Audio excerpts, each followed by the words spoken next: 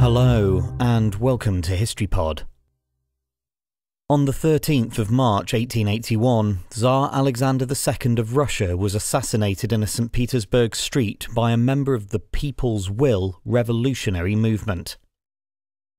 Despite introducing a number of reforms, such as the emancipation of the serfs in 1861 and the abolition of capital punishment, Alexander's government remained autocratic.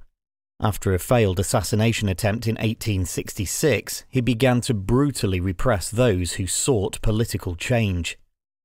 By the 1870s, the government was coming under increasing pressure from liberals and radicals to introduce further changes. Land and Liberty, a group of reformers who sought land reform, soon gave rise to the People's Will, which favoured terrorism as a way to achieve their aims.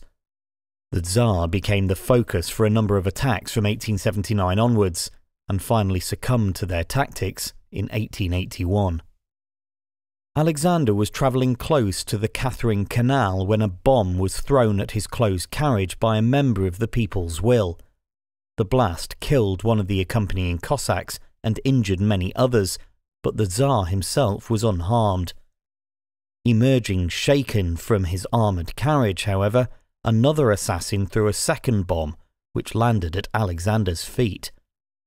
Suffering from severe bleeding, the Tsar was taken to the Winter Palace where he died from his wounds.